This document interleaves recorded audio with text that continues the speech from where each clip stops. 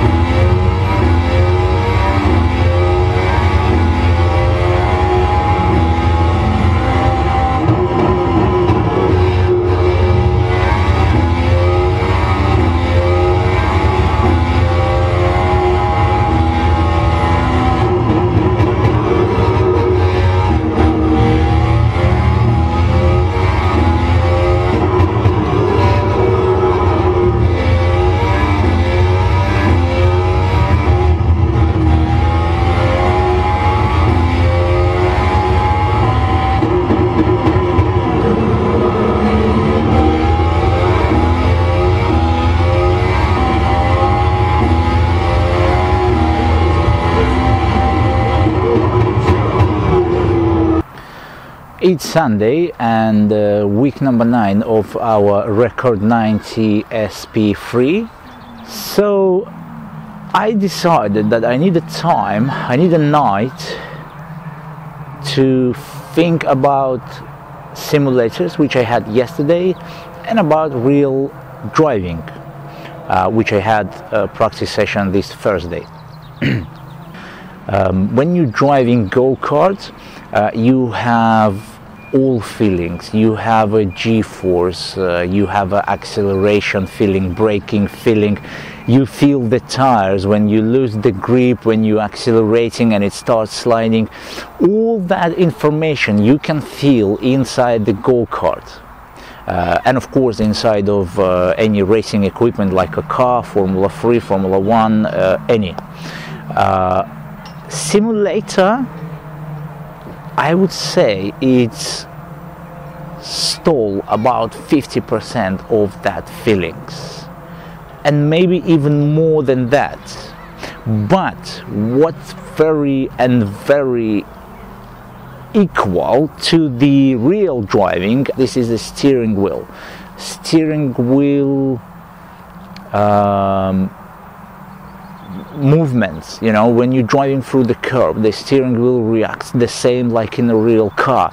Uh, you need to put the same amount of power like in a real car. So after 25 minute practice session on that simulators yesterday I've been really exhausted. My uh, my hands my um, arms was aching you know and uh, steering wheel i found it very informative and very very realistic. I would say it's uh, like the same what you have in the real life the same you have on simulators exactly the same.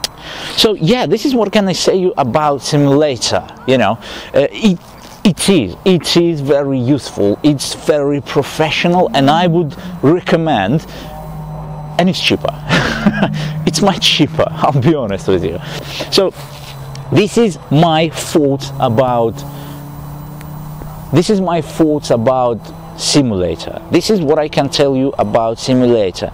Simulator yes it's good for your practice session. It gives you lots of understanding about um, circuit about racing line even a bit of understanding about car which you're driving because uh, yesterday I've been driving two different cars. The first was Ferrari the second one was the Mercedes Formula One cars.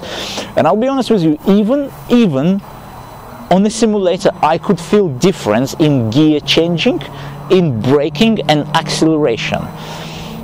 You can feel it yes. Um, you can understand it you know you, you, you, can hear that the revs is goes much quicker in one car than the other one you know.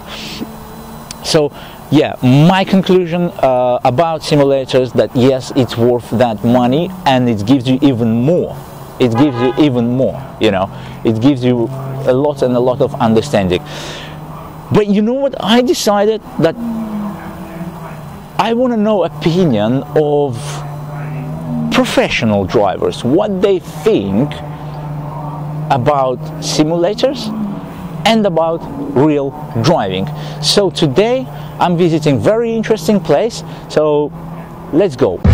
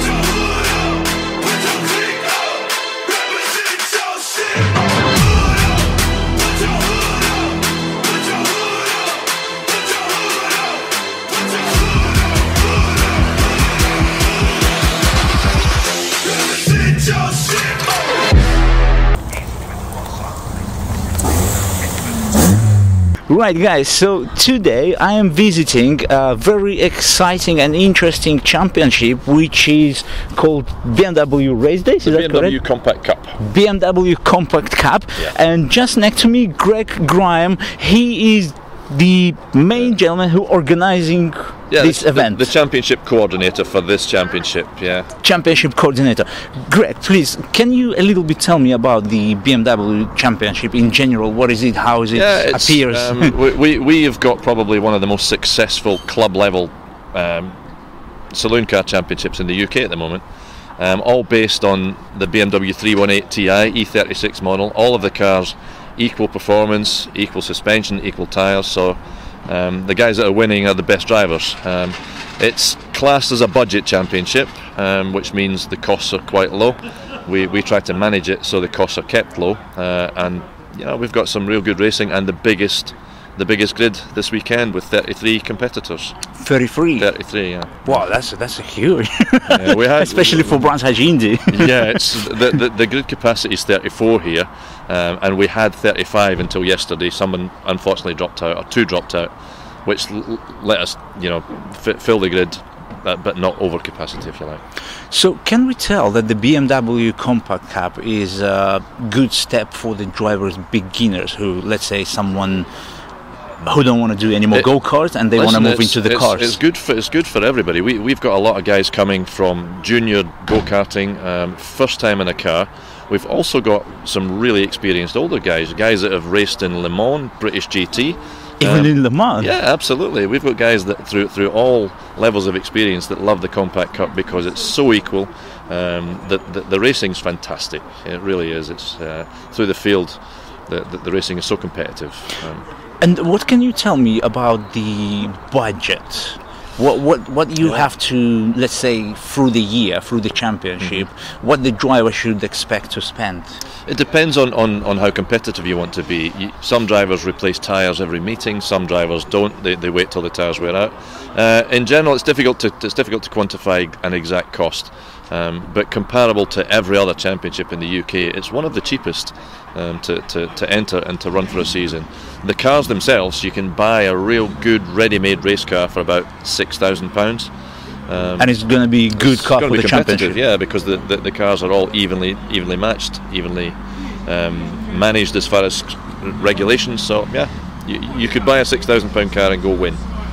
And then just you have to pay Then, entries. then it's entries and, and fuel and costs and travel, etc. So it's difficult to quantify that cost, but But it's not. It's not Yeah. too much you need for this championship. I mean, uh, you need a car, you need the tires, you need the fuel. Yeah. Uh, of course, the car is going to be ready. So this, Yeah. is, this is it. Well, That- that- trailer and the. Yeah, I mean, some people. yeah, it, it, it, to, to say motorsport's cheap at any level, it's not. But you know, when you compare it to other other championships, we have a real cost-efficient and cost-effective championship. Well, I even can Um, compare it to something like Ginetta.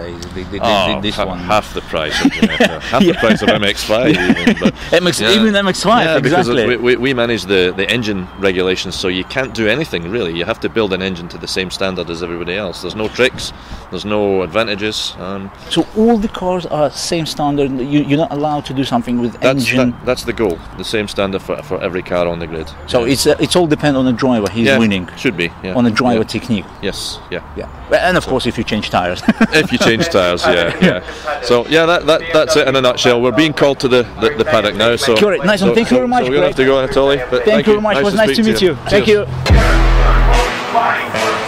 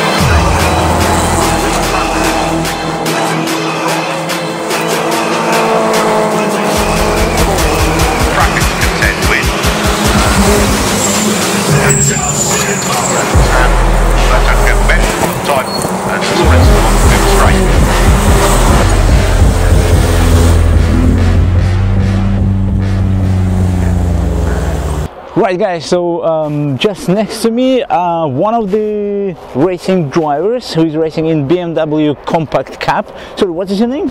Keith, Keith, Keith. Keith, um, can you tell me about the racing simulators? Okay. Are they useful to remember the track, to learn something about racing, comparing what you have in this racing It's a, car? good, it's a good question. I think some of the younger drivers tend to maybe use the, the simulator games. Yeah.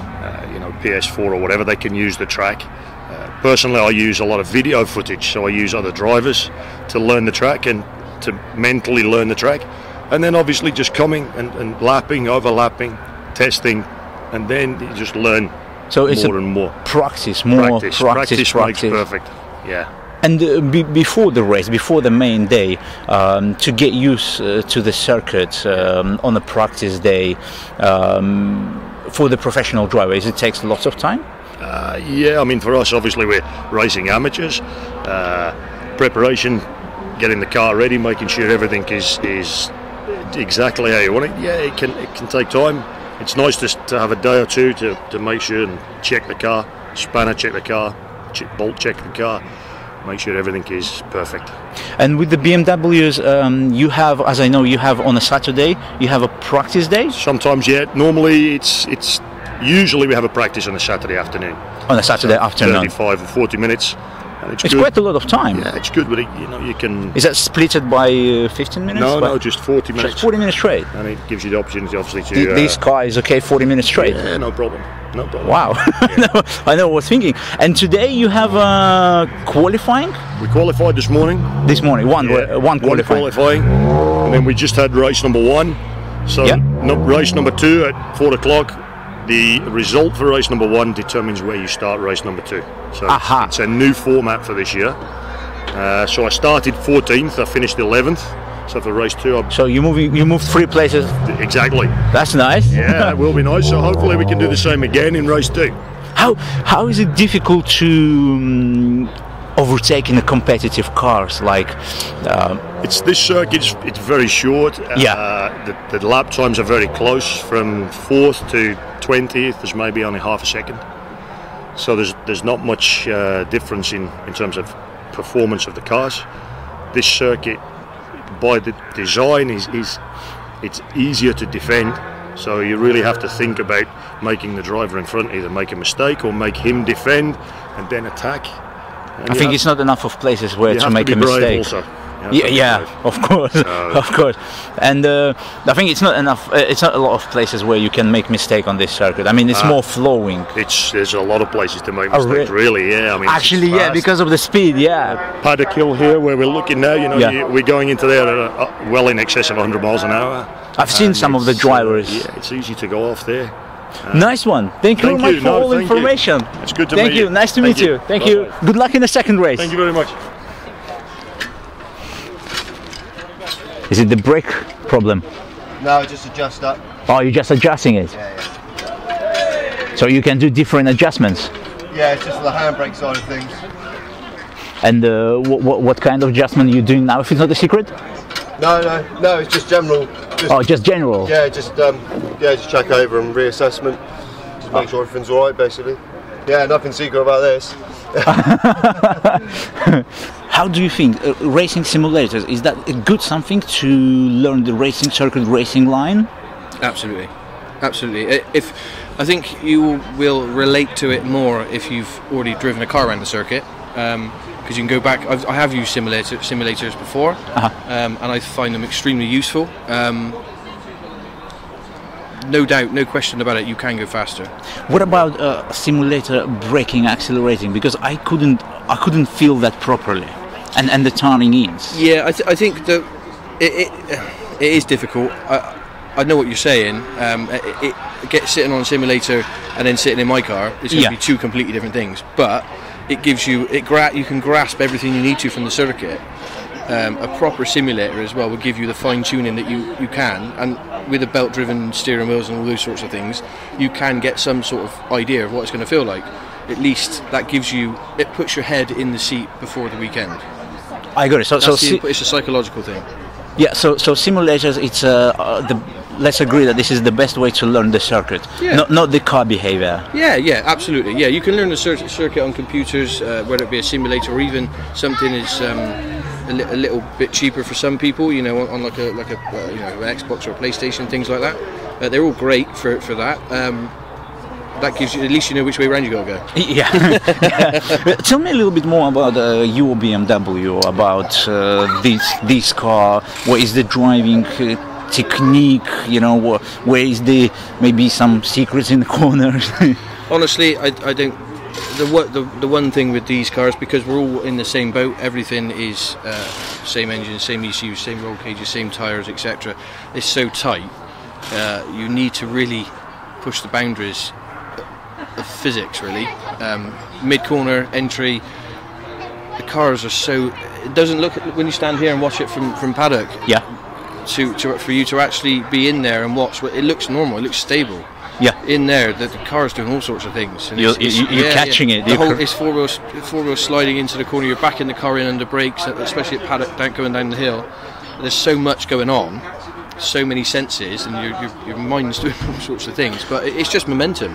Yeah, I'll be honest with you. I've done lots of karting practice session, and, and you know when you've done something uh, some kind of racing. Uh, So I could see that these BMWs, you, I could see that the drivers are really Yeah, f- fighting them. You know, Yeah, they're absolutely- especially in a paddock band. You know, it, Yeah. it- you can see that there is a drivers who are very professional and they catching the car but Yeah. there is a drivers who still keep sliding you you can't see the normal spectator i think he can't see it No. but the racing driver he will notice that Any, anyone that's done any form of track time or, or sim, even simulator work, to be honest with you, Yeah. they're, they're, they're going to be able to sit, stand there and look up at paddock and see the car moving around and, and understand what, appreciate what the, the driver's having to put up with in there and, and deal with. Um, but the, the, ultimately, because everything is they're low-powered cars and they're just well set up, the car has to be driven to its absolute limit. equipment like this you can rent team car sjw sjw can you tell me what you think about simulator is that a good way to learn um, the track or maybe it's a good way to learn the car behavior you know Pers- personally, I've never done any simulator racing, so I don't know. But I've got friends that do do it Uh-huh. and say it's really good. so, so they said that the It's worth it, yeah. simulator is worth it to learn the Apparently so. I've never done it, but friends that race these are into online gaming and they do do it and say it's worth, you know. Ah, so it's even not the simulators, it's even on the Xbox or Yeah, yeah, PlayStation, yeah, something yeah, like this. Absolutely, yeah. And they Yeah. said it's really Yeah. worth it. Yeah, yeah, yeah, yeah, yeah.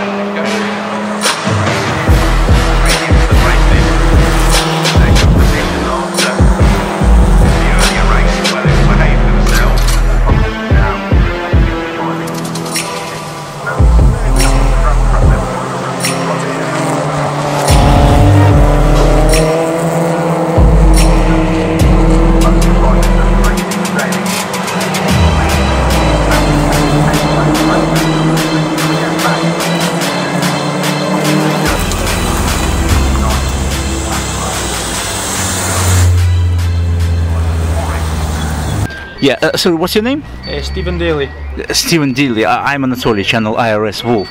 Can you tell me a little bit? Um, of course, congratulations with the winning. You won two rounds today, yeah? Yes, yes. I won, won- I won two rounds today. Um, really happy with that. Kesey Motorsport, that's who runs the car, uh, do a fantastic job. Kesey Motorsport, so we're, we're quite happy with that. So this Um, is your team, Kissy yeah, that's, that's that's the team that this car runs. Uh, they they basically own this car and and look after it for me and make sure it's 110 percent. You, you know what question I have? Yeah? Um, I am today wondering, I'm going around drivers and I'm asking, what is the best way to prepare for the circuit? Doesn't matter, you know the circuit or you don't know the circuit. What is the best way to prepare for the race? I, I have a, a simulator at home, you know, a simulator. So, I mean, I've got every track, Brands Hatch, Snetterton, I've got all the British tracks available. So, I mean, I do a lot of training at home, you know, you know what I mean? Also, keeping fit in the gym and things like that, that, that really helps in terms The- of the- endurance. The simulator, which is with the steering wheel, everything Yes. professional. Yes, And yes. steering wheel has the same um, movements like in a real yeah, car. I mean, it's, it's not exactly the same. Uh, You don't have as much fear. You know, you don't have as much fear on the simulator as To make a do- mistake. Yeah, uh, Yeah. But obviously, this it teaches you a lot about consistency and and and, and just pace in general, just lap times and and the, and the racing line, of, Of course, course, you're of course learning it does, racing yeah, line. yeah. You know what? This is exactly what I want to talk about because I've done just a few days ago. I've done um, some simulator practice sessions, Yeah. you know, at Let's Race, and uh, for me it was really interesting. Um, are they quite um, similar to the reality? Yeah, I, th- I think I think they are. I mean, you're racing guys online, um, and these guys online are really really quick. You mean uh, th- there's, there's guys. I mean, I can win a race here in real life, but there's there's races online that I can't I can't win because the guys are so fast. You know what I mean? So it's very very good training for me. It teaches you a lot of consistency and and So for drivers beginners, you would suggest that the uh, simulators is really good to learn yeah, the definitely definitely simulators is perf- is perfect for for people I think his outfit, and one is his race car consultants uh, crew. Uh, Magnus Quick EV is right. So here we are guys. We found more information about racing, driving, about simulators. And I'm gonna wrap up week number nine right at this moment where everyone packing up and ready to go home. I'm gonna stay here at the Brands Hatch for a bit more to listen to these amazing, beautiful racing noises, and then I will start week number eight. See ya.